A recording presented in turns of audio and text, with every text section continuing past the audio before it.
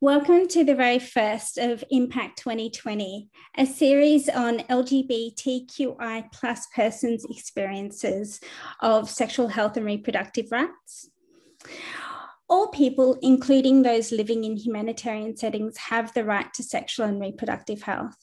To exercise this right, affected populations must have an enabling environment and access to comprehensive sexual and reproductive health information and services so they can make free and informed choices. This, of course, includes intersex persons.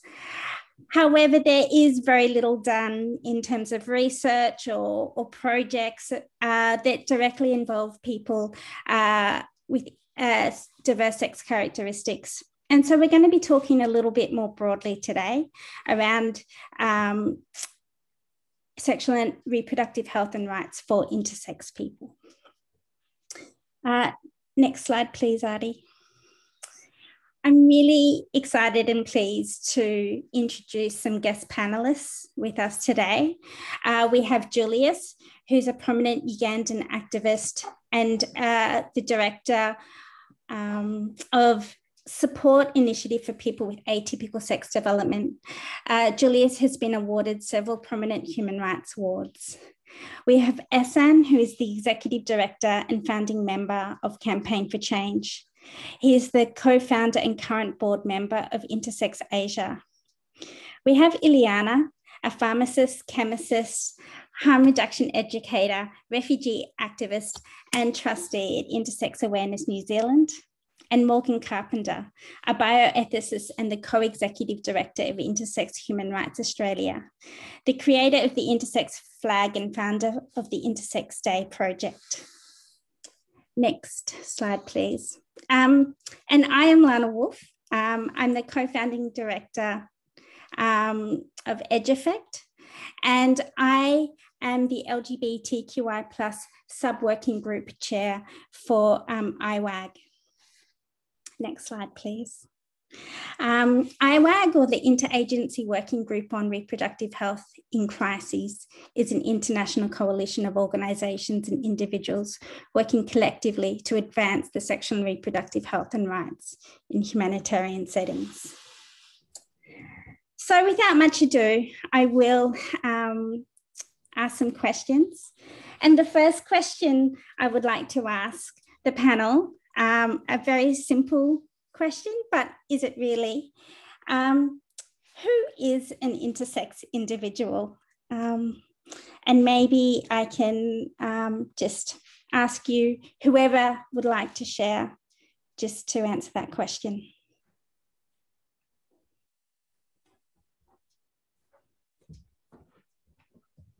I think I think we all have to answer this question multiple times during the day for days and days and years, but I think we all might have a definition that is very similar. And I think I would like Morgan to define us because Morgan knows how to do it very well. um, okay, well, um, you know, I mean, like every concept, like the concept of women, of disability, uh, concept of what it means to be black, um, all of these concepts that, that relate to different stigmatized population groups are contested uh, and they have fuzzy boundaries. And, and, and different people do use sometimes different definitions. But I think the definition that's most widespread or common, uh, certainly within community organizations, communities of people with intersex variations. Now, I think there's a there's a, a, a, quite a common definition that comes from the United Nations, from the Office of the High Commissioner for Human Rights, that, that talks about intersex people being born with sex characteristics that don't fit medical or social norms for female or male bodies. Uh, and there are a wide number of intersex variations that have different impacts on, on our bodies. Um, uh, but, but I think we all share in common an experience of stigma and discrimination because our bodies are perceived as being different uh, and often perceived as being in need of medical intervention. Um, uh, uh, but the stigma, I think, can, can impact people quite differently in different parts of the world. Uh, and, and, you know, and, and that, that might come through the conversation today. It's also important to acknowledge that, that intersex traits can become evident at many different life stages. Increasingly, intersex traits, the traits that make people intersex, that make bodies different, um, can be identified prenatally. Um, they can also be identified at birth uh, or during puberty, um, or even at different times. Uh, for example, when somebody is trying to conceive a child. So we're a really diverse population. It's also important to say, I think, that we don't share an identity. Uh, we share a particular experience of stigmatization because our bodies are different. Um, so intersex people may have any of a range of different identities um, in the same way as the rest of the population. Thanks. Esan, do you have anything that you would like to add? And you're on mute.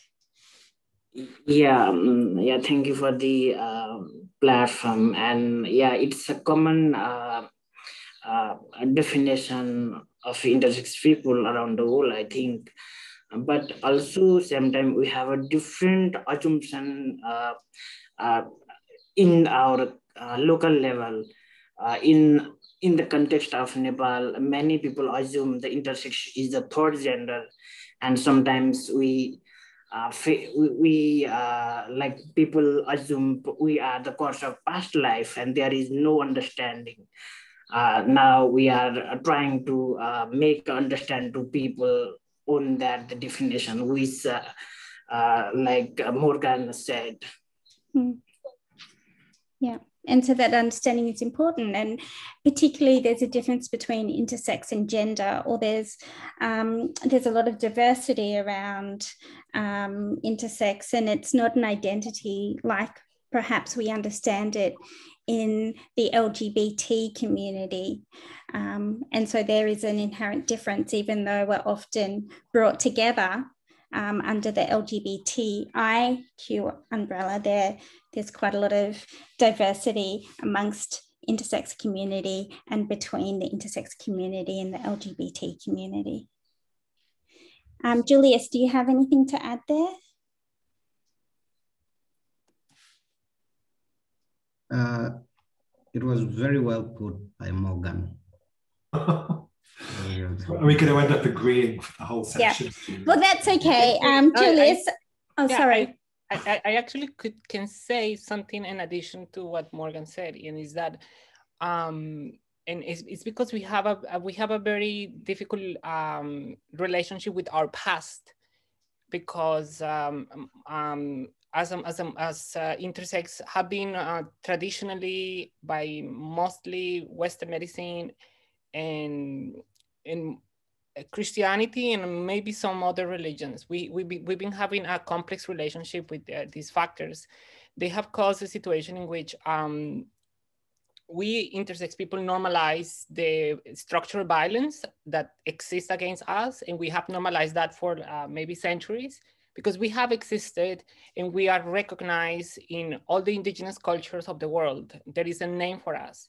Hmm. Um, sometimes that that name is uh, is for reasons is being used to identify um, identities of gender diversity, but not always um, that should be the right representation of like how some indigenous cultures uh, use the word for intersex people but that word is being used today for uh, describing diversity within that particular uh, group okay mm. So th that's something that is important in the term intersex because as intersex is not something that people use to self-define uh, themselves, but is to highlight uh, the experience in life that we, we all have. And even though we have different variations in, which is our 45 variations and each variation has multiple sub-variations, there is something that we all have in common hmm. and we share that experience and that's why we we use this term intersex which has more connections with the that's those social aspects of sharing something that is the experience in life and that's what, I, what I want to say because not every intersex person that can that, that, that actually can fit into within this definition will feel comfortable using the word intersex. Mm. Uh, there are people that use uh, pathologizing um, terminology to define themselves and will not mm. define themselves intersex. Mm. So, yeah, so that's just something yeah. I wanted to add. Yeah. Yeah.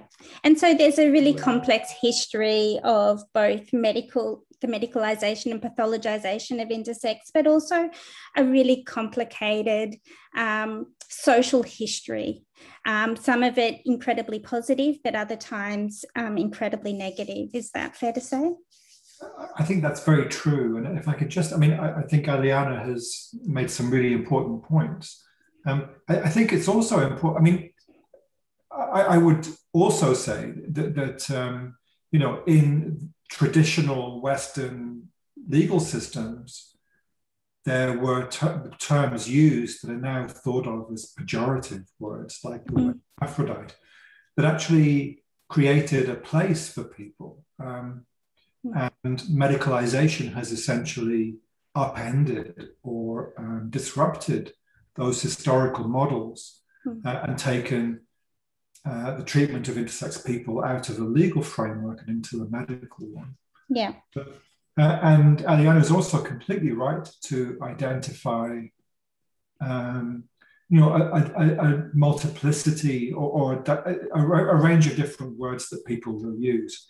So, I mean, all four of us here, I think we will have, we, we knew our bodies were different and we knew our bodies were stigmatized before we'd ever heard of the word intersex. Hmm. Um, and we may well have encountered other traditional language to describe our bodies before we've heard the word intersex. And I think this is something that Esan has written about. Uh, and, um, you know, and, and, often the old languages in different cultures are quite stigmatizing or thought of as quite stigmatizing now. And intersex is a term that, that I mean, some people will find that stigmatizing as well. Um, but often the stigma is, is because of the kinds of misconceptions that we layer on top of the experience of being different. Mm-hmm. Um, and I know that certainly in countries like Australia, and I think also in Aotearoa New Zealand, you know, different mm. people. Will use different language in different settings to avoid mm-hmm. stigma uh, and to avoid misconceptions as well. So if mm. people are talking about intersex as a gender identity or as mm. a sexual orientation or even as a third sex, then, then people are probably going to avoid using that word. Mm. Um, yeah. And people will use different language to make themselves understood and comprehensible. Mm. Yeah. Actually, I could just kind of interject right there uh, in the in the context of Africa or Uganda in particular. Uh, intersex has become, I mean, it's, it's, intersex people are wary and kind of thinking whether it is appropriate to use that term. And as intersex activists, we have, uh, Morgan, you know that we have deliberated upon the definition that you just gave uh, over several years, trying to come to a common um, kind of defining way to, to represent who we actually are, as diverse as we are. But in Africa and in Uganda, we have another dimension of misappropriation, being that the introduction of the word arrived with um, LGBT as well. It came within it came within that bracket, so it arrived as LGBTI, not as intersex on its own, and that was helpful then because there was absolutely no uh, platform to, to engage around, uh, to engage with around these issues.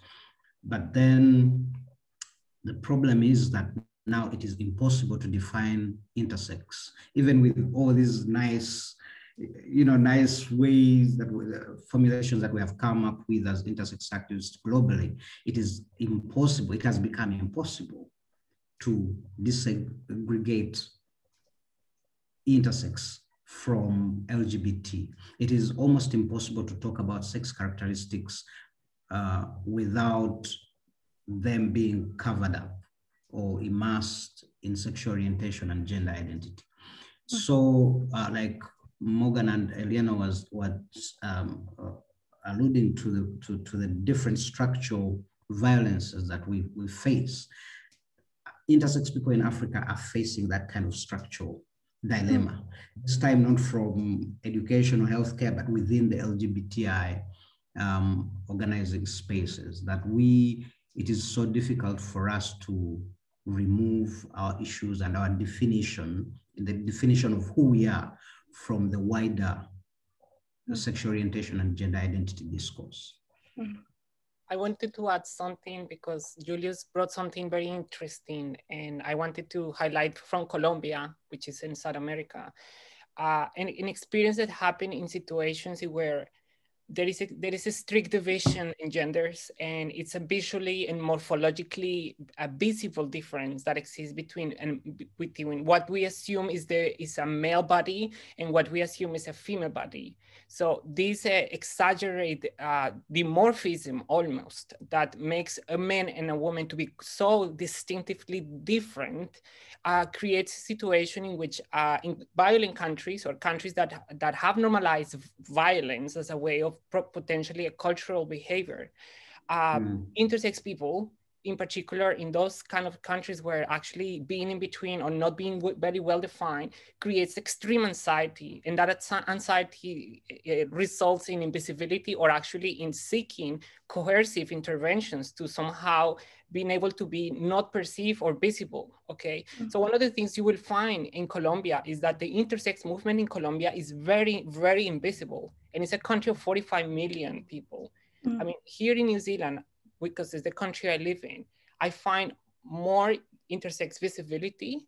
And it's just mm-hmm. because here in New Zealand, there is a process of maybe, uh, I will say that that's that intense dif- difference that exists in Colombia between a man and a mm-hmm. woman is not that strong. So it, it enables kind of intersex people to feel a little bit more safe and comfortable about maybe exposing themselves. But a mm-hmm. country that is 10 times the size of, of, of New Zealand you will not see a, a movement, even uh, a collective mm. uh, movement, because people are simply just afraid to even being associated with that. They prefer to kind of yeah. uh, normalize themselves to be safe and actually to be able to, to live, because that's it's, it's actually a life and death situation most of the times. And I think mm. it's not different from Africa and other parts of the world.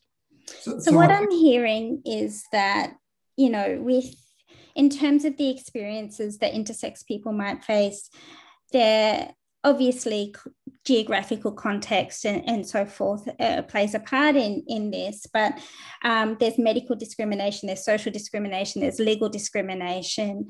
Um, you know, it, it's kind of um, all encompassing. This this webinar is a, is about sexual health and reproductive rights. Um, I guess what is your experience there? What kind of um, sexual health and reproductive rights issues do intersex people face. Um, and I obviously I know that one big part of the advocacy that that all of you on the panel have been involved in is um, um, around uh, unconsensual uh, surgeries, which obviously is a sexual health and reproductive rights um, issue. Um, you know, what other ones exist and which ones are do you want sexual health and reproductive rights uh, practitioners to really focus on? Um, and I might go to Esan because we haven't heard from them for a little while. Uh, yeah, I I wanted to link the previous point. Um, yeah, still uh, within the intersex um, community, we uh, haven't uh, raised the uh, sexual and reproductive health right issues because we are very uh, young uh, organization and our movement is very young. While we are um, like in Nepal, LGBTI movement started in 2000. Um, uh, 2001. Uh, but uh, we intersex uh, people and our issues always overshadow uh, within the broader LGBT movement. That's why our issues uh, mostly removed from the wider LGBT uh, movement. That's why people still uh, there is no uh, knowledge on intersex uh, uh, issues. That's why we couldn't discuss on HRSR within our community, and also uh, the intersex HRSR issues is overshadowed within the uh, LGBT uh, HRSR issues because uh, most of the organization and other movement, they assume uh, there, there is some um, mainstream LGBT organization, they also work on that. That's why our uh, HRSR issues totally um, uh, uh, not discussed with the uh, LGBTI HRSR issues and that's why we couldn't uh, yeah mm, we it's not the uh, like uh, uh part of the discussion within yeah. the community and also outside the community yeah so what i hear in, in nepal is that um, there really is no discussion around SRHR, that it's such a nascent intersex movement is so nascent that they haven't had those discussions. And well, that the link with the LGBT movement is, um, you know, they're focusing on their issues which aren't necessarily bringing to the forefront intersex yeah. issues. Is that right? I think there are some really important issues that Esan has raised that, that are relevant to, to sexual yeah. and reproductive health. So, I mean, not having knowledge about your own body uh, and the parts that it has has, has an impact on, on, on your ability to make decisions about your body uh, including its sexual and reproductive health. Um, and, and the assumptions of other people about your body and, you, and your identity also have implications for your sexual and reproductive health. Um, so, for example, um, uh, I, I, have for decades used testosterone, and, and um, uh, every so often I have a bone density test. Uh, and recently I had a bone density test and I had to go to a women's clinic to get a bone density test and everything is pink. Uh, and there, there's an assumption in that clinic about the, about the nature of the population that we use that service. Uh, and, and clearly, I mean, I, I didn't fit the, the kind of the idea of, of, of who their patients are going to be. Um, uh, and me, I was able to navigate that quite easily. Uh, because I've now got a lot of, I've got decades of experience. But, but assumptions about who we're supposed to be can affect what services we have access to uh, mm. and the ways in which we can manage our health. Um, mm. But I, I, also think that um, Eliana has talked about a, a coercive social environment in Colombia where people are encouraged to pass uh, as normal, uh, to appear as best as normal as they can to survive. Um, and, and Lana, you've also talked about forced and coercive medical interventions, which I think are issues in all of our countries. Um, and one of the key issues with those is that they can impact, uh, they have adverse consequences for our sexual function and sensation. Mm-hmm. Um, uh, and, and the, the, coercion uh, and the social norms that lead to coercion, uh, in, you know, that they they are they affect our right to bodily integrity, our right to bodily autonomy. Um, so these are all sexual and reproductive health issues. Mm. Yeah. And I think I, I, I, could also add to that, um, Morgan, just before, before we lose that, um, that line of thought that you've introduced. Uh, you know, the thought of, or the reality of having to hide um, our bodies out of shame for the context of Africa. And I think pretty much everywhere, really, it affects mm. people. There's that element of shame that we pick up as, as soon as we begin to understand that we are not, you know, we have to avoid certain situations or for example, in the West, would, you, you, you're being forced to see the doctor every so often. There's a sense of shame that comes with with who you are and how how your body is. Um, and for us here, really, that body shame results in people avoiding doctor visits. Mm. Uh, in Africa, a doctor visit is really not something that you will have very often. It's, uh, it's a totally different uh, story, but uh, access to healthcare is a challenge, you know, mm. across the board, not just for intersex people. But when it comes to intersex people with all the body shame, that occurs at the very first visit you attempt, whether it is at a referral hospital deep in a rural village, or even before what we call traditional, uh, hmm. traditional medicine men, the kind of messaging that you get from there in a, a context or a society where endowment is celebrated of any kind, whether it is breasts for women or penises for men, uh, it is something, it's an achievement in itself to be endowed in, in a particular way in our, in our culture. So when that is lacking, um, and a lot of this endowment is seen way before um, you get sick or anything. We have rituals or passages to to, to, to malehood. There, there are all kinds of passages, passage, rites of passage that happen here that men have to be circumcised in certain tribes and women have to undergo certain rites to womanhood. So when you have issues with your genitals, that sense of shame, that sense that you're not as sexual as everybody else uh, affects your your sexual reproductive health kind of sense. And there's a, there's a big assumption a large, um, a large, a large scale assumption that intersex people are also asexual. That you know we are we have these bodies that are that are you know are not typical. Therefore, we are not sexual beings. We, we are not. We shouldn't feel have have um, a need for sexual reproductive health information or knowledge because what do we need it for anyway you know uh, you probably are incapable of um, uh, bringing children into the world or having a sexual encounter with somebody. So what, why, why would you need this kind of information? So all of this misinformation and this kind of messaging that comes to us affects um, our sexual and, and, and uh, reproductive health. And right. I would like to mention something on, on uh, to, to maybe complement uh, something that Julius just mentioned.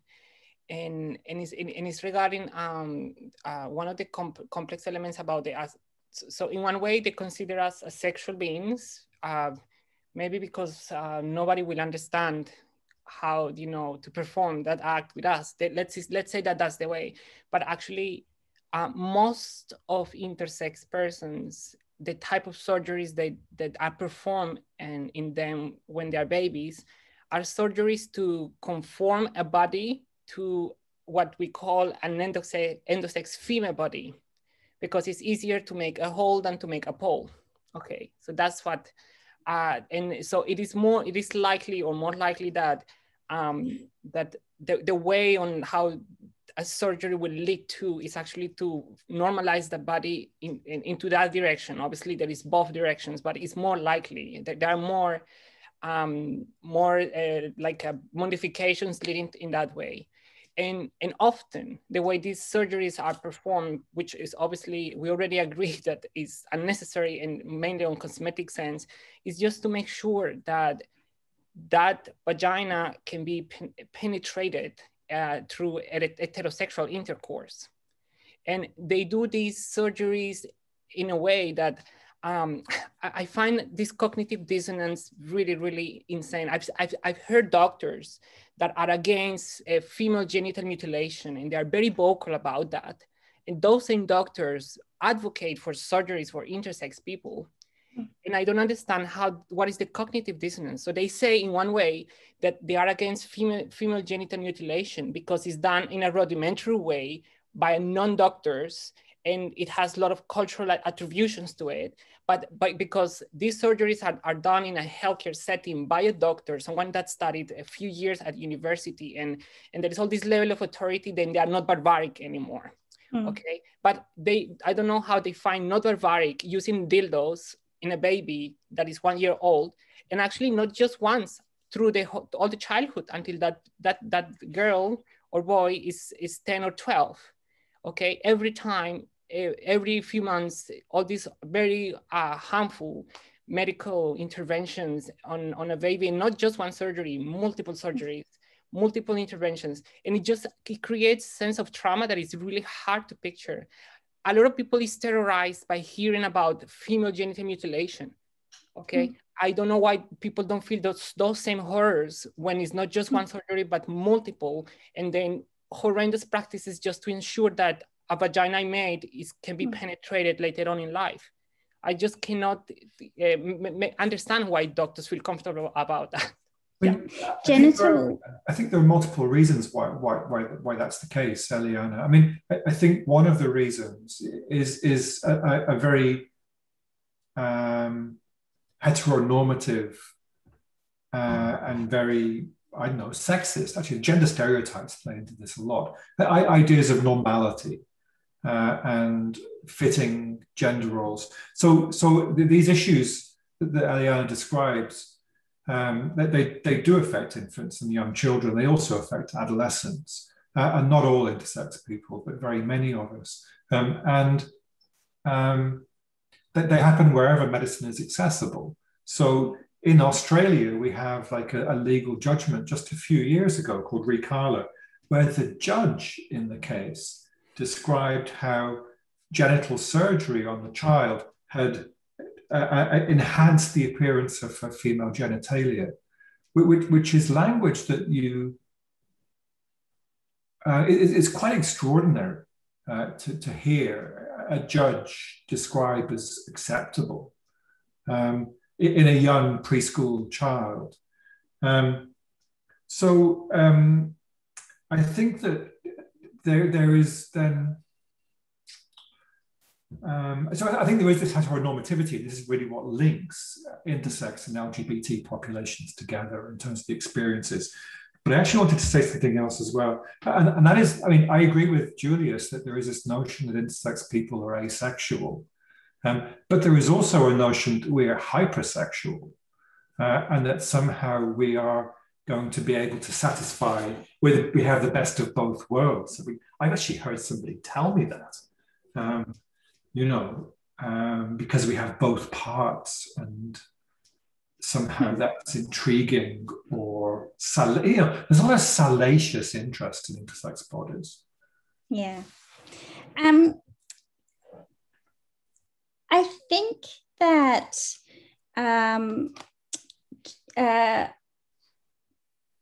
surgeries on intersex babies is one of kind of more of the visible um, and known kind of um, issues that the intersex community has been really building a movement towards and, and trying to create legal change. But it's also one of the ones that, as an organization, as Edge Effect, it's the one of the ones that we have had some connection with in the humanitarian space, um, working in Cox's Bazar, just doing, you know, the kinds of things that we do, organizational um, um, kind of assessing and research and training. And because we're an LGBTIQ plus organization, I'm having people come to us saying there's a baby born in the Cox's Bazar refugee camp and that they need a referral so this baby can get surgery and, you know, be normalized. And even in such an extreme place like Cox's Bazar, that kind of thing is happening. And of course, we didn't give them a referral to, to a hospital, but um, to an intersex organization um, to you know maybe have some other discussions about you know different worldviews and choices that can be had. Um, but i guess in terms of uh, genital um, surgeries there's a there's a lot of stuff happening there around informed consent or lack of informed consent, around a lack of education, but also thinking about um, the future sexual rights and health of um, intersex persons. It, it's um, it's not just something that happens as a baby and that's it, um, but but it appears to be much more of a lifelong thing, which does create more challenges to, to, to reproductive health and to sexual health for many people. Maybe there's there's odd occasions where surgery is important and necessary and life saving, But over the whole, it appears to me that the effects of that have negative consequences on sexual health and reproductive rights life, lifelong. It's actually contradictory to sexual health and reproductive rights. Would that be fair to say?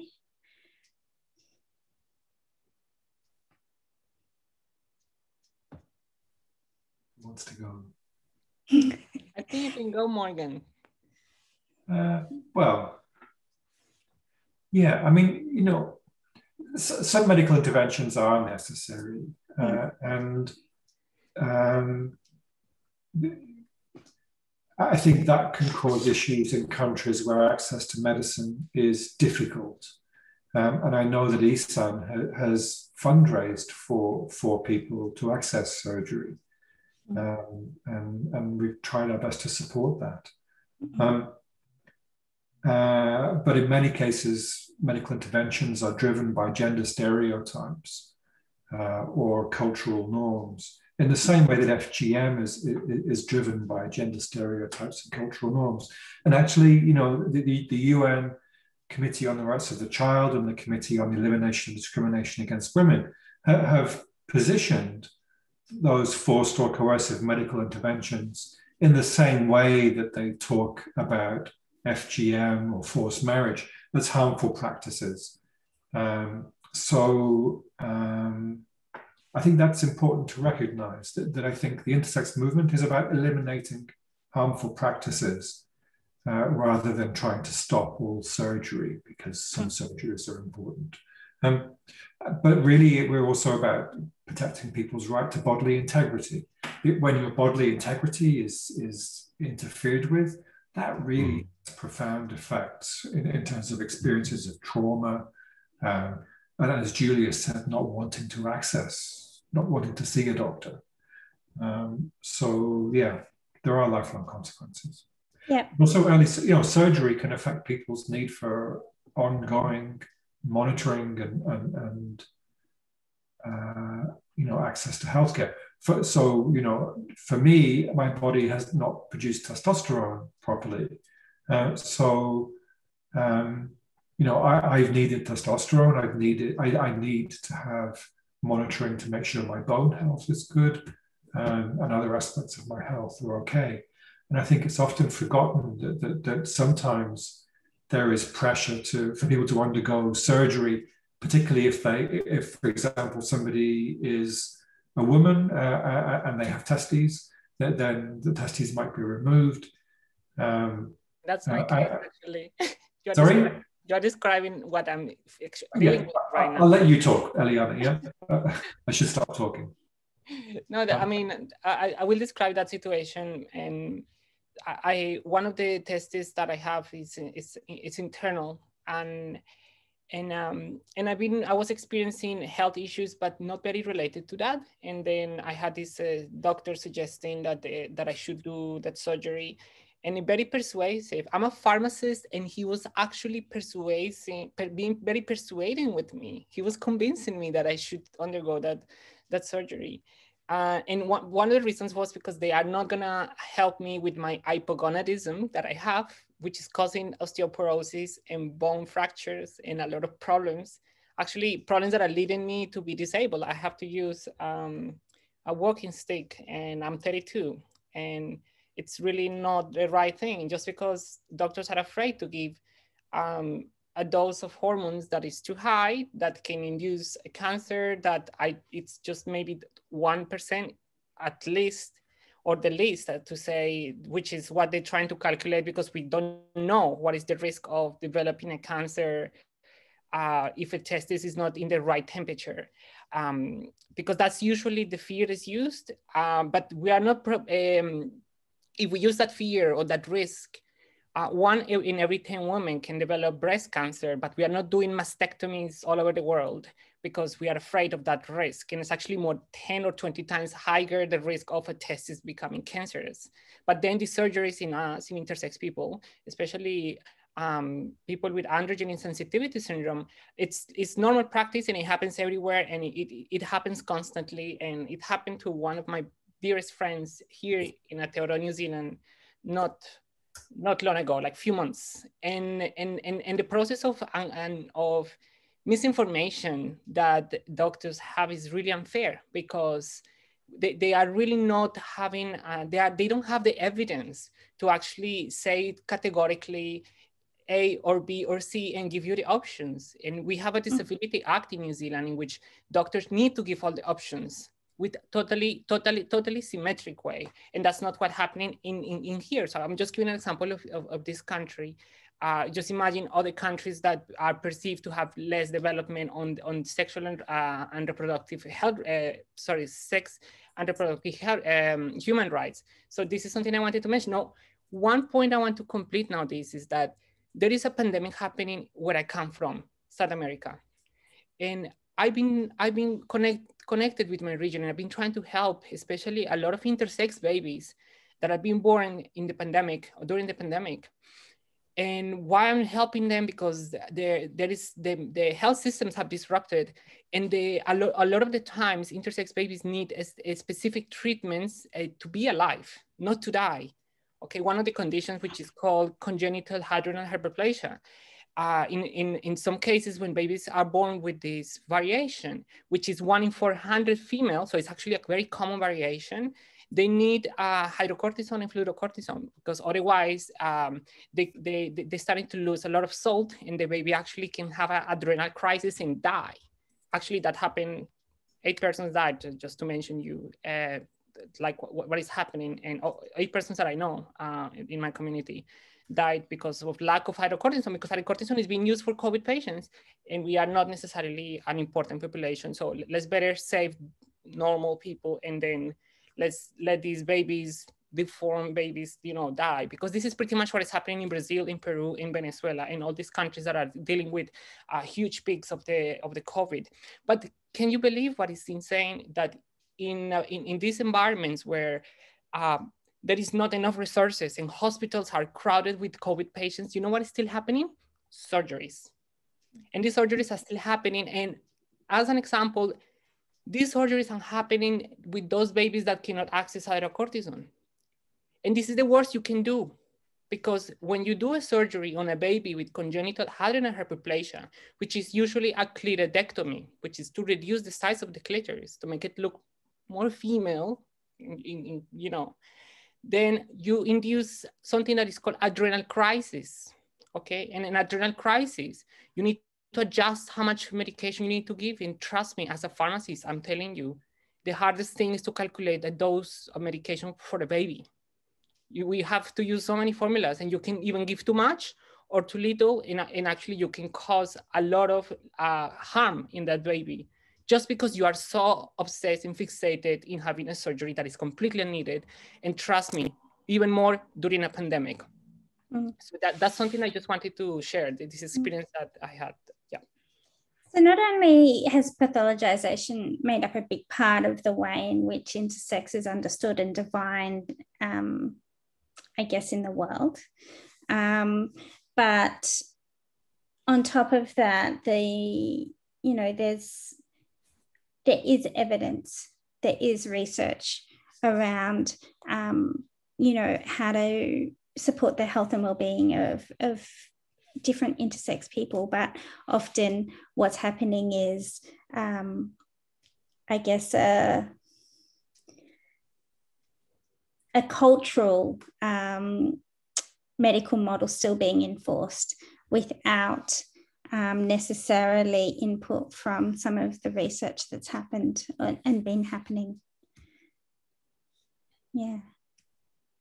And they're still prioritizing it above, you know, other essential services in, in COVID or in Cox's Bazar, um, you know, which is one of the world's largest refugee camps. Um, we did talk a little bit then about, um, I guess, the importance of the medical system as well um, and sexual health and reproductive um, services, what would make a more inclusive service, um, a more inclusive SRHR service?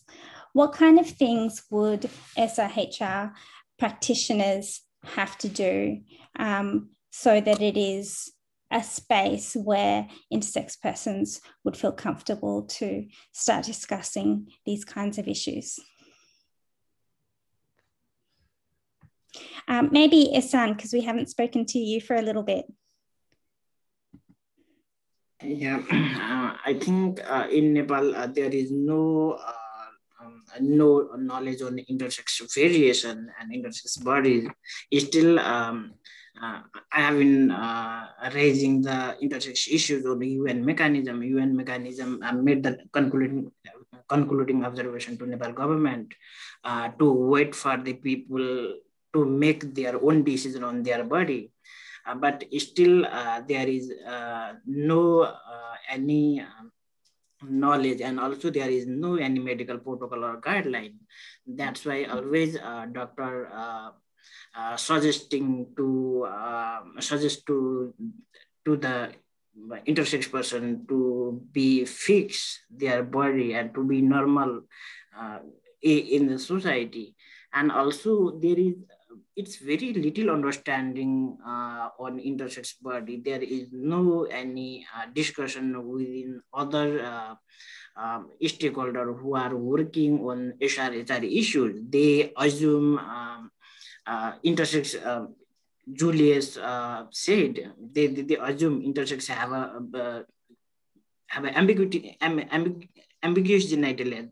That's why they don't uh, need any um, like a, uh, health services and uh, they assume intersex people uh, as asexual people.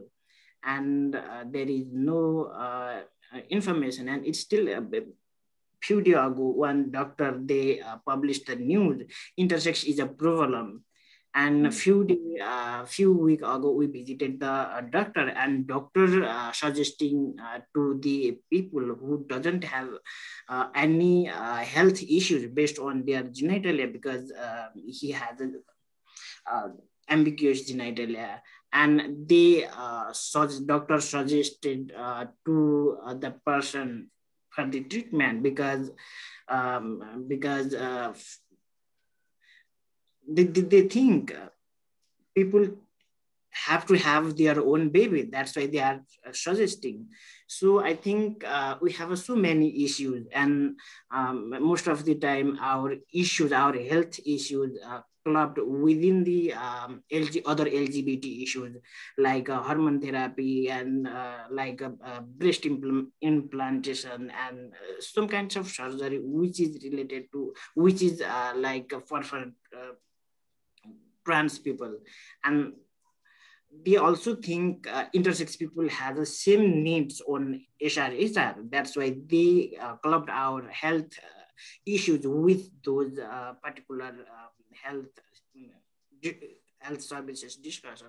So I think um, uh, to make inclusive uh, on HR, HR so many uh, organizations who are working on HR, HR issues, they need to understand the variation of intersex uh, body and they need to understand the experiences of intersex uh, people who are facing uh, the different kind of discrimination in the different structure like uh, health setting, legal setting, and other uh, setting of the society.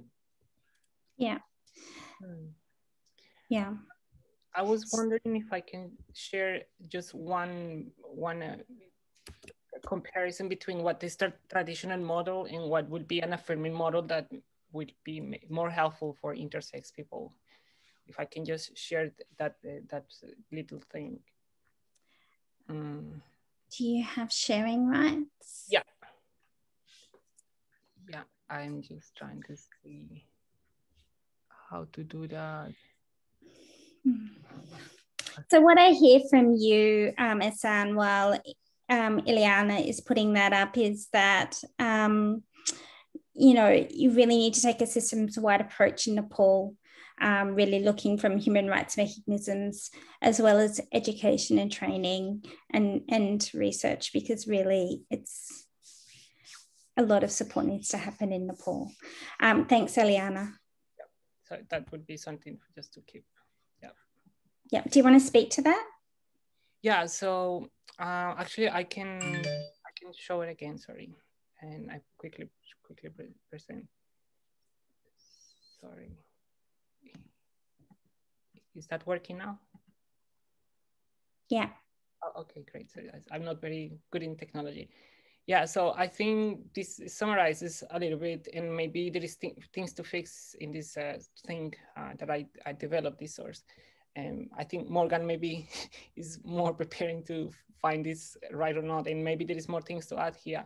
Um, but I think um, the, the, traditional model that uh, we, we, have been subjected, most of us, and I think most of intersex people, at least age, uh, you know, 10 and ahead, they've been subjected at least to this, all these uh, elements of the traditional model, um, in which, which is very narrow and it doesn't really recognize multiple truths um, that uh, sometimes doctors simplify and and, and you know it's uh, not even using a pragmatic sense and approach because often when doctors approach lgbtqi issues they use a pragmatic approach in which um, self you know the, the way of how you are recognize your your emotions or how you recognize the, the, how you love someone or how you identify yourself is something that doctors tend to minimize and not really uh, pay attention to but they are not even paying attention to the diversity of structures that can exist in a body. And then they simplify the intersex bodies and then th they define sex just by a specific single factors and that single factor that Julius was mentioning, which is just what I can visibly see. So there is a penis or there is a vagina or there is something in between. And that pretty much defines all the way we've been treated. So because there are cases in which a, an intersex person is born with a vagina and then the, all the assumptions that are made and that this person is just gonna carry on. But then when they find out that this person has XY chromosomes and they has undescended testes and cannot reproduce or cannot have babies and all these sort of things, started to create this sort of mm. sense of like, oh, we need to fix this person. We need to remove her testes, even though her testes are producing estrogen and they and there is really no evidence that uh, there is an increased risk of cancer, then this person is going to be subjected to a very degrading uh, health system. Okay. Mm. And then we can just go and the, the, sex is a binary, which is something that in medicine, when you open a book of medicine, uh, you, you will not find, you know, Eh, definitions for understanding on a normal way of how is an intersex body, you will only find the our the explanation of our, our anatomy in a in a book of rare diseases, and and it's one of those books that hardly anyone touches. And any and it's often like it's kind of like a, how to do surgery on this type of disease kind of book okay so it is a very degrading uh even way like it's impossible for even doctors to learn even if they want to start seeing uh, this uh, our existence as normal, uh, which is which is normal. It's like a, a non-natural human variation. They will not be able even to, to use evidence, uh, the medicine, to learn about that, what is normal, because all the all the um, all the research that exists, all the information that exists, all the books that they use to learn about this as is just all with a pathologizing lens. So it is all, almost also impossible to change that narrative. And it's a complex, uh, it's very complex to change that narrative. And I would say that, yeah, that that's what I want to uh, compliment here. I don't know, maybe Morgan has something else to say. Yeah. Well, maybe all of us might have something to say. Um, so, um, I mean, I, I, I mostly agree with the, the model that Eliana has outlined. Um, I think it's important to recognize that some of the language and concepts there are contested. So there is a lot of debate about whether sex is a spectrum or sex is binary. And a lot of that debate kind of hinges on um, concepts of normality that essentially exclude intersex people from a binary model uh, and regard us as um, not relevant to the discussion about whether sex is binary or not. Um, but but I, so I would tend to think about sex characteristics existing on a spectrum because that's more precise a concept than sex. Sex has multiple different meanings in different contexts. Um, also, thinking that the existence of intersex people depends upon a notion that sex exists on a spectrum can, can lead people down quite a narrow path from, from discarding the notion that sex is binary to adding a third category of sex and assuming that's going to satisfy the needs of people with intersex variations. Um, and that's kind of unhelpful because, um, you know, Eliana, uh, uh, Julius, and Esan and myself have different identities and different sex assignments. We are understood in different ways by our legal systems. And in some cases, we might agree with the way that we've been assigned. In other cases, we don't. Um, but kind of regarding us all as, as being this kind of homogenous third category can be very harmful. Um, but there is some work that's happened uh, both in Aotearoa, New Zealand, and in Australia to work out better ways of counting people that respect our identities and our social status. Um, and I'm just sharing uh, in, in the pan- panelists and attendees uh, a, a, new Australian Bureau of Statistics standard that, that offers a way of counting people with intersex variations that respects who we are and our diversity. Yeah. And I would share also the New Zealand one because it was just released today too. Um, uh, Morgan which mm. I think I think uh, the Australian one, uh, in my eyes, is better.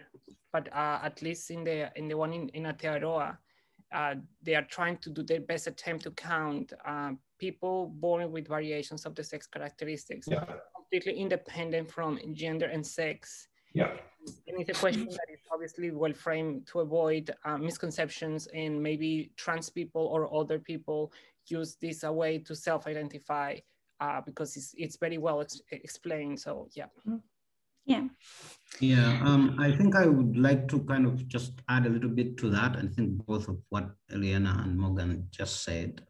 Uh, what we would ask, in my own opinion, what we would ask uh, or we would want health practitioners to know or do for intersex people is something that we probably cannot lump up in one, cannot present in a one, a one size fits all kind of way in, in, a, in a forum like this, um, because contextually, this might differ. Uh, people in the global north might have a particular message for the healthcare providers there, depending on the experience and on the context and the laws that prevail and the social and economic realities there. And that reality might become different once you move further down uh, you know, to where we are. The kind of um, messaging that we give to the healthcare providers in this part of the world might be different.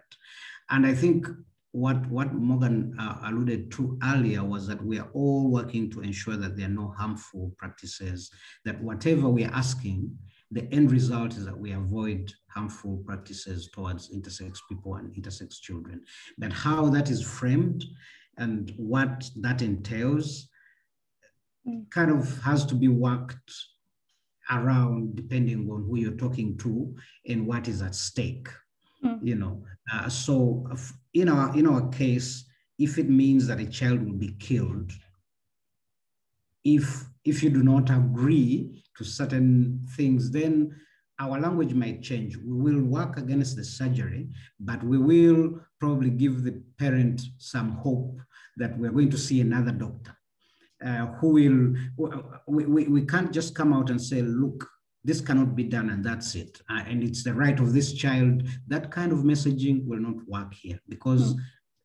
when we get out of that um, conversation, the mother will be overcome with the mm. social pressure, the cultural pressure, and then she'll go to the next uh, solution, which is even worse, mm. which means the child has to go, has, has to be sacrificed because if there's no hope, uh, mm. then, you know, so uh, there, there are realities that we have to work around but and we have been working on this in many of the intersex forums that we have had with Morgan, trying yeah. to see how we all support each other depending on the context where we are. But the, the commonality of all our advocacy and our work around sexual uh, and reproductive health and rights for intersex people is to ensure that whatever uh, outcome we get results in uh, mitigating or eliminating harmful practices mm. in whichever form those are presented in any, in any context or any culture.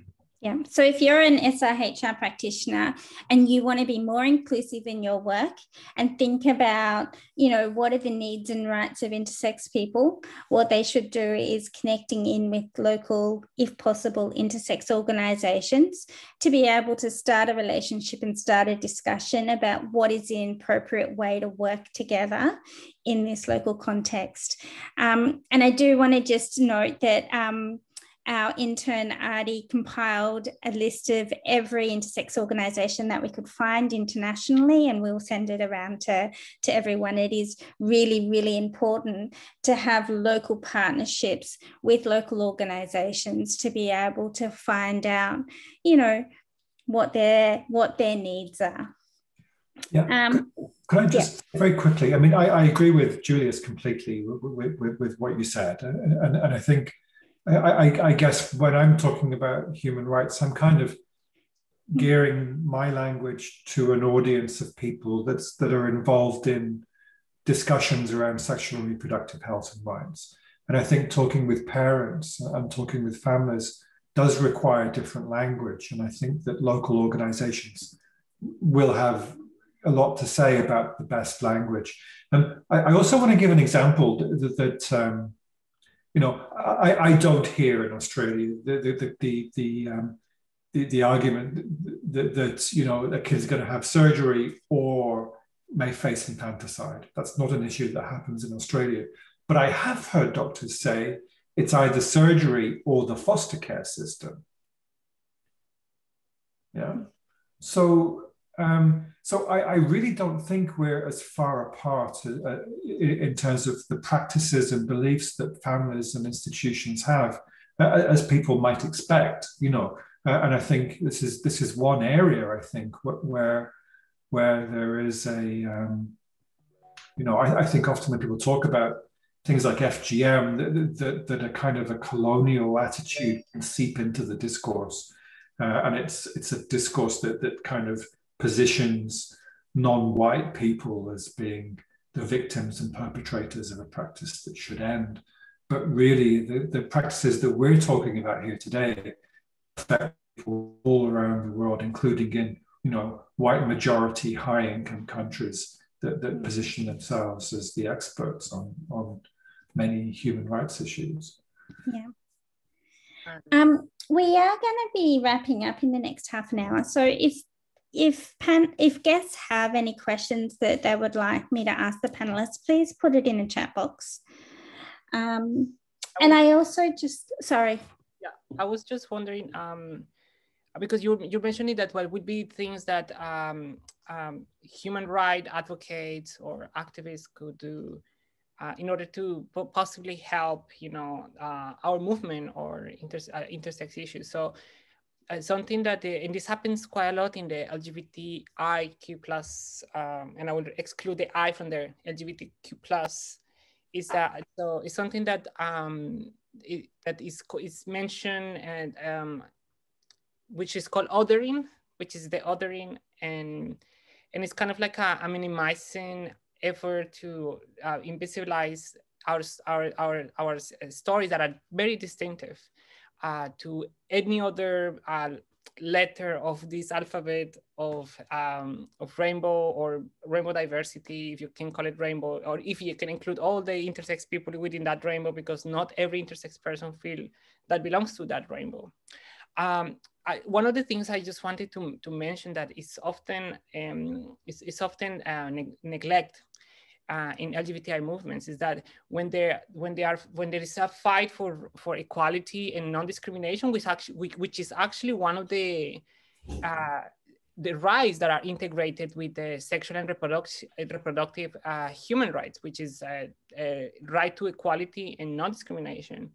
Uh, in actually most of the countries of the world, actually I think all the countries with the exception of nine, um, intersex people can be discriminated without any source of you know implication uh, because we are not uh, specifically protected uh, in, the law. And, and, and this is one of the things that can just show that um, in many, many countries that have advanced uh, LGBTQ plus rights, often we are left the last and we are forgotten and just wordings that can help us to potentially, even by mistake, be protected because sometimes we are protected by mistake when they use gender to conflate uh, intersex identities because that actually happened in Australia. That by mistake they were banning surgeries and they're like, oh no, no, no, no, no. Sorry, in this case, gender doesn't include intersex. Therefore, we are not protecting intersex, non-consensual, unconsented surgeries. Okay. So it's kind of like these things happen. There is few countries that have this legal uh, you know conflations that are that accidentally might protect us from something and then then and then you will find that you know and then the language.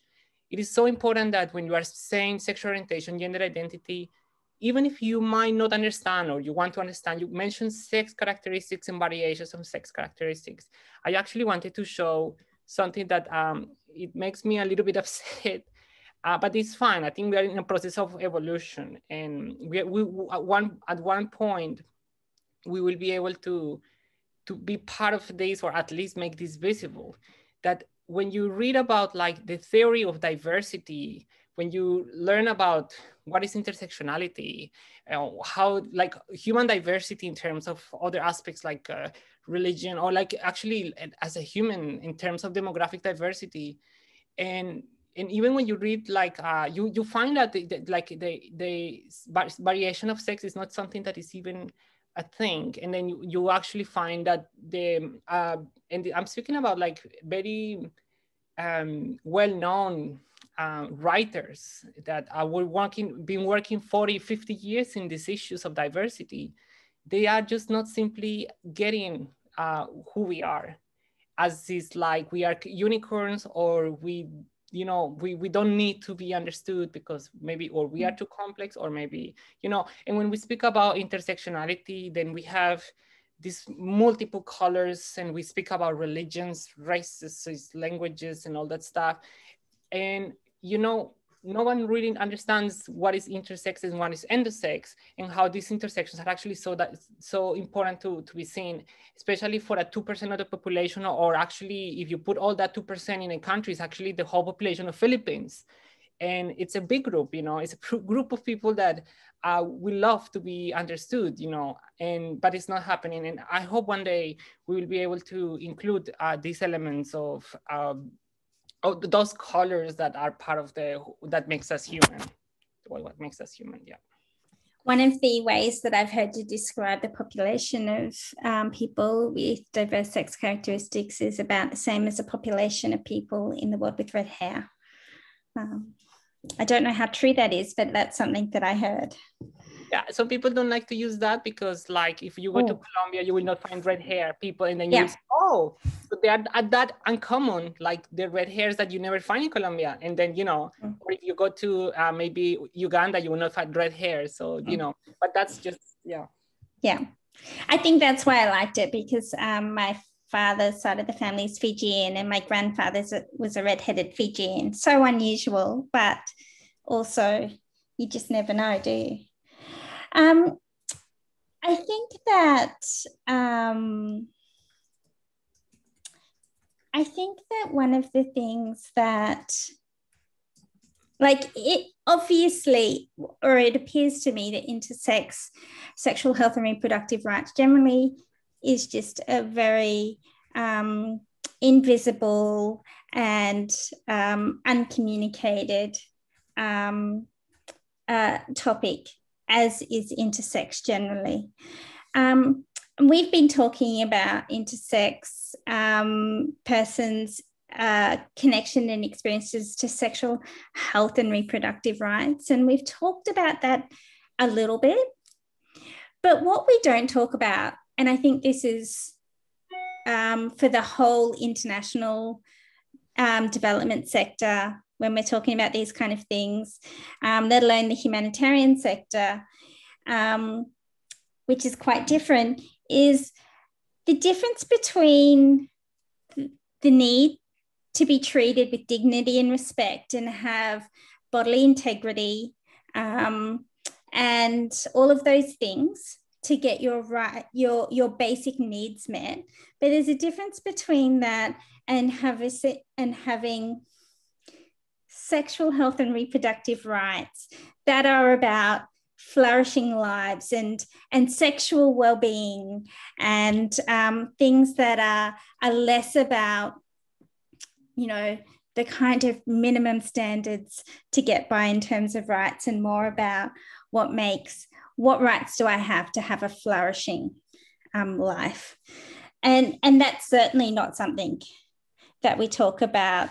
Um, is, is, and I, I guess that um, I would like to ask you how could you imagine a world in which it's not just about accessing your basic needs to bodily integrity, um, but also having, having flourishing sexual um, and health rights. Is that something that you could imagine, Julius?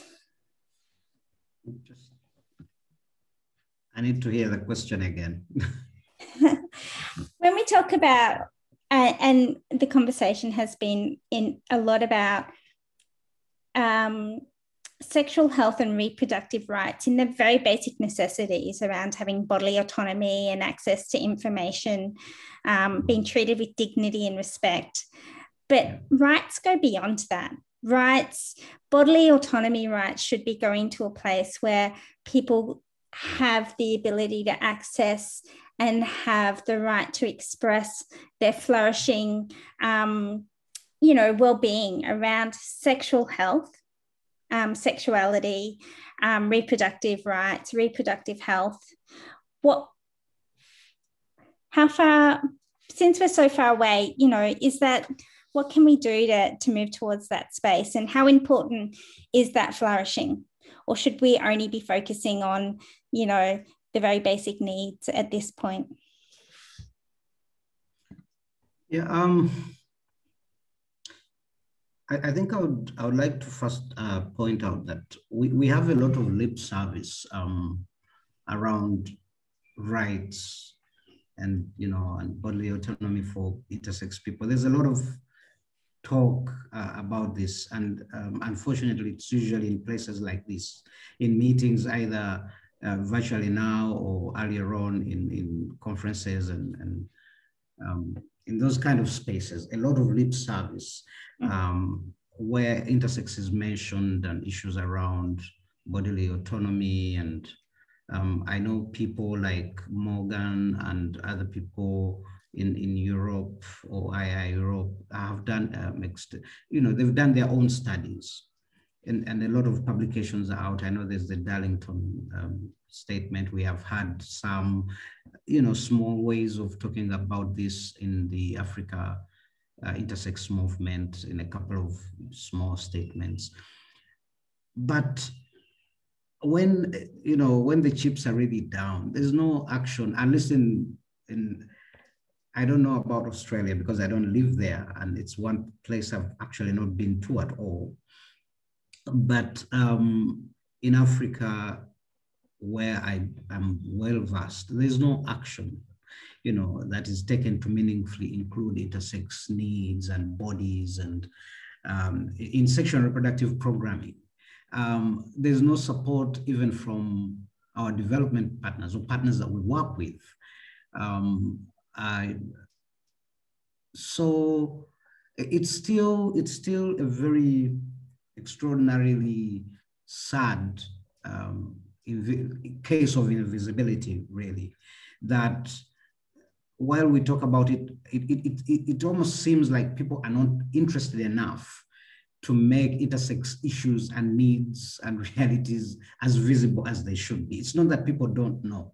There, there seems to be an unwillingness, really, because you see that um, there's been a lot of attention, including research, uh, for every population's needs, including men who have sex with men, women who have sex with women, sex workers, HIV, uh, people living with HIV, people living with disabilities, all kinds of populations with all kinds of needs. And some of these kind of take their intersectionalities with us, with intersex people.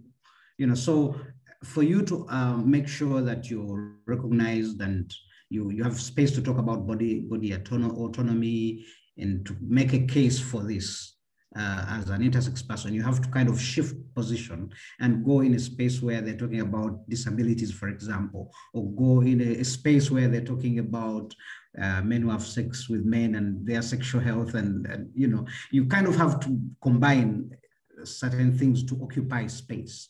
But no intersex, nobody seems to be inter uh, interested in really putting, um, you know, action to intersex research or understanding what the needs are, uh, understanding what we mean when we say we need respect for bodily autonomy to actually really engage at that level. So, um, and this is all across, it's not even just in Africa, I believe. So for me, I think that that would be one of the areas that we need to kind of point and make make people listen and make you know ask for action, real action mm. towards inclusion in programming as a priority, not as just, you know, a mention, because we, we just kind of, you know, tag along in a lot of uh, mentions in documents, in panels and all of this. So it, that has been a problem for me. I, I, hmm. the great mighty footnote, often um, saying LGBTIQ plus, however, no I people, intersex people have been included in this. Yeah. Sorry, but Morgan. how many times have you had, say, the Darlington statement, you know, recited or referred to in a major international LGBTI conference, you know, or even the little mention in the Yogyakarta principles around intersex. These are not brought to the fore in, in bigger pro programming spaces. But there's a bit of research that has been done by some people, maybe not Africans, but the larger intersex um, organized the larger intersex movement. But these, these are not referred to, these are not, um, you know, yeah. Look, where I, I, from when people yeah. are doing programming. It's not that we don't have information. I, I, agree with you again. Yes, Morgan, please, please go ahead. I, I agree with you. I mean, the, the Darlington statement is a regional statement in Australia and, and Aotearoa, New Zealand.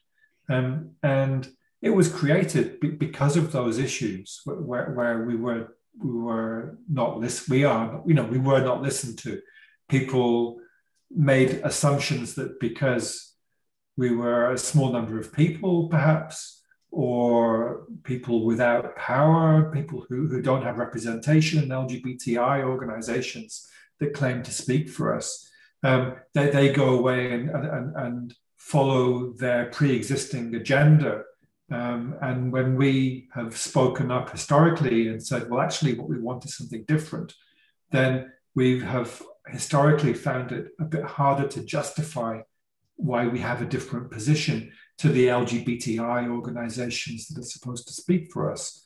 So, um, so the Darlington Statement was a response to that in, in many ways, and, and a, a, document that kind of was was our moment to to agree amongst ourselves in our region what it is that we want to change. Um, and, and, and it has been helpful for us here because of because it's it's focused on what we need in our region. So it's not intended to work in Africa or in, in Asia or, or Latin America either. But but uh, for us, it, it's been a useful tool to say, well, here this is what we've agreed we need to have happen. Mm. Um, and yeah, I mean, trying to create change on the basis of that is like a, it's it's still a difficult story. It doesn't mean that people go, oh, okay, now we know, and we're going to act on that. That that hasn't happened. And um, yeah, I would like to uh, a little bit of answering your your initial question to Julius. That is like what I want or what I would like. Um, mm maybe for for us. Obviously I, I, what i'm gonna say is gonna be sound gonna sound a little bit um, uh, crazy but uh, i would like us to come back to our origins okay? And why i'm saying that because uh, i've been doing this process the, during the pandemic times it's kind of like a process that i've done. I'm just trying to relearn our past because intersex bodies were loved and intersex bodies were respected in, the, in, in a way in many of those um, like uh, I'm gonna I'm gonna give examples of like uh, the Ngunnawal people or uh, the Maori here in New Zealand or the the people the Musu people in my country in Colombia. They have stories in which they describe our experiences, and actually you can see how we've celebrated, being celebrated. And I would like to come a little back in that past in which we don't have those taboos and stigmas, and we can actually just have a fulfilled life. And actually, we are celebrated. We are saying, "Oh, you know, mm. um, like the case of this intersex king of Hawaii that nobody knows about, but it's a fantastic story that I just can show like how how mm. how like how amazing was to be intersex maybe before these notions of mm. Christianity and binaries were implanted in the world. Okay, mm. because they even call their intersex king with the acronym of intersex, which is a word that is, was used in uh, back in the days in Hawaii in, in, the 1400s, which is the word mahu. Uh, this is a word that today is more mostly associated with uh, with um, gender identity, cultural gender, gender identities, but at that time was uh, in the in the books of history. Mm. David Mahu, who described the story of this king, uh, he describes it clearly as a person that was born with a variation of sex characteristics. And, and why I'm saying this because when you just, you just need to be a biologist that has a very trained eye go in the nature and just to see all these multiple colors and variations of sex, sex characteristics that exist in animals. And I'm not gonna fall like a, because I can just quickly show something. Um, and, and, and I'm sorry that this is so visibly like intersex in terms of chimera, because it's one of the variations that exists in the natural, in the, in the natural um, but like I'm gonna show this one, you know, this is a very visible, very visible variations of sex characteristics in, in some animals, okay? And why they are very visible? Because they are chimera. There is not really many cases of human being chimera, but here, like we can see cases in which we are there. Evolution brought, brought us there. We have these living beings around us. We might eat a chicken and we don't not not knowing that the chicken is intersex okay because there's multiple variations in ways of being intersex not just like this very visible and obvious way of being intersex which is having this uh, gynandromorphism which is having like uh, different cells that have different types of chromosomes and creating almost a symmetric half-half um, which is like very visible. And why i say very visible? Because it's a way to show that we there we've been here and we were there. And if we are here after evolution it's because there's not, not natural variations uh, um, are happening. And then we deserve to be part of this uh, experience of you know of being in this universe. And that's what i want us for our future. I just want us like in, in our future just to feel the same feeling that those animals in the animal in the animal kingdom have. They are just existing without any other like i don't know a butterfly making a surgery on that butterfly because she was born with i don't know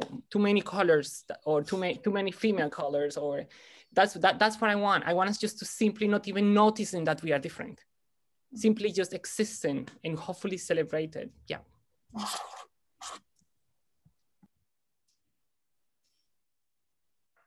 i don't think i can say anything that just you know that was a really I really hope that as well. And um, I really want to thank you for, you know, for for letting for sharing how difficult it is, how difficult the invisibility is, how difficult it is to, um, you know, be invisibilized and um, silenced by the broader LGBTIQ plus as such community um, as a member of that community. Um, so yeah, I I really hope that as well. A flourishing life. Um, we're going to wrap up. We've only got five minutes left. Um, I, I guess I would like to ask people if there's any last remarks. Um, maybe Esan, we can start with you.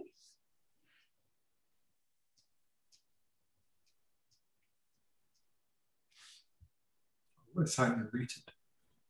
He's muted. Maybe Julius while uh, Esan. Oh, no. You right there, Sam?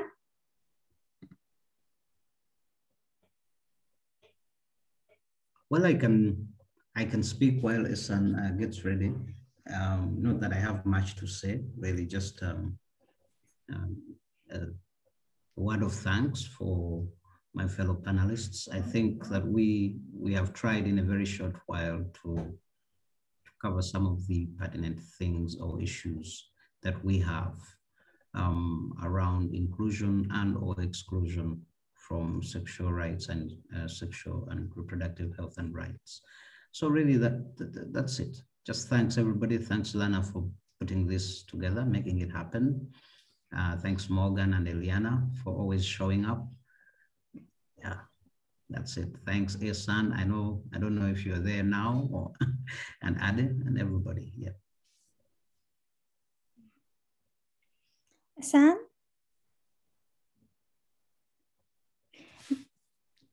Can you hear me? Yes. Hi, any last any last remarks?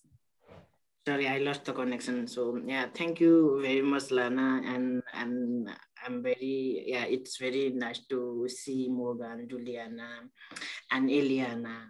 Uh, so yeah and um, yeah i would uh, see one point and if you uh, mention uh, lgbti in your um, working area uh, it's not inclusive uh, for the intersex people.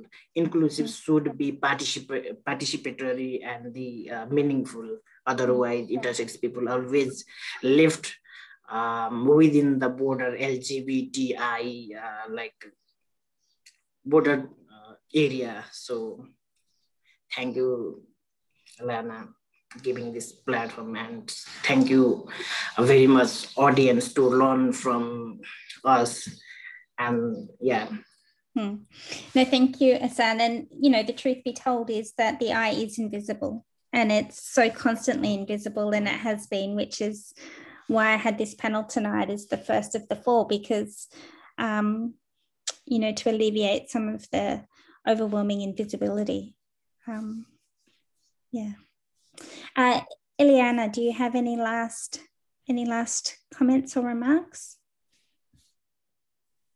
Oh, um, Purangi Tohihinga, Purangi Omahara, Purangi Ohaura, Purangi Hawanawa, Tekati Otia Hearoha Fakato, Hearoha Putamai, Tenakoto, Tenakoto, Tenakoto Katoa um, my last uh, closing rem remarks that I want just to give is that um, that just a rem reminder for people to understand that intersex is not a gender identity, it's not a social construct, or it's a cultural construct itself. We are different. We have different colors and variations. We might might would like people to understand who we are, but because we want to be loved, not because we really need to be understood but because you just want to be part of this existence and we just want to have a fulfill, fulfillment experience in this uh, planet we lived in. And mm-hmm. I would say it's not about who you love or who you identify traditionally or culturally. It's simply how you uh, you build. And the only the one thing I want to, to just to make sure is that we can act as a collective because we suffer from the same root and causes that lead to ostracization of gender and uh, sexual minorities. So there are a lot of in, intrinsic elements that uh, we, we, we, share in common, but we have very different experiences. So mm-hmm. it is mm. very important that we don't do othering, that we allow mm-hmm. these experiences to be known and that we allow intersex people speak for themselves. And that when every time we use the I in the LGBTIQ acronym, we actually do our efforts to make sure that that I is included there. And it's not just sort of like a, a check to make sure that I'm not missing any letter because it is very important for people to understand that we we need to be differentiated. It's not an intersection. We are not an intersection. We are not a race, a disability, maybe but we are not an intersection. We are a core identity of, of the LGBTIQ elements that cannot be defined with other letter. So that's all I want to say. Thank you so much for inviting us, Lana, and thank you so much for bringing up these intersex issues tonight. Hmm. Thank you, Eliana. Um, it's been my pleasure to have you here. Um, Morgan, as a as a fellow Australian, I think that um, I, I'm going to slightly disagree with you. I think that probably what we have in common is two people that have, um, you know, that kind of sit under the LGBTI um, is not just heteronormativity, but the confines of binarism that, are imposed on our lives um, in different ways, of course. Um, but do you have any last remarks or?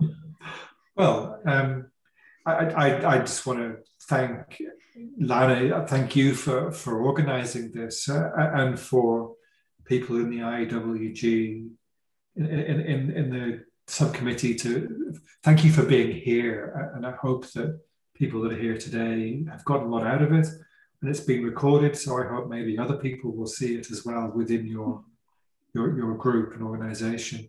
Um, and it's just always wonderful and a pleasure to be on a panel together with Julius and Esan and Eliana.